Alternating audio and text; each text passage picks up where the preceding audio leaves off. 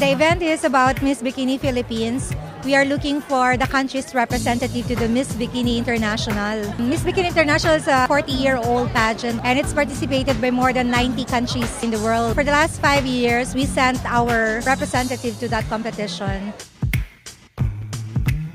It is also about Slimmers World looking for someone else who can help us promote slimming, health, fitness, and beauty in the country. We want to reach out to as many people as possible. We want to communicate the importance of healthy lifestyle. We want to educate the public about exercises and eating.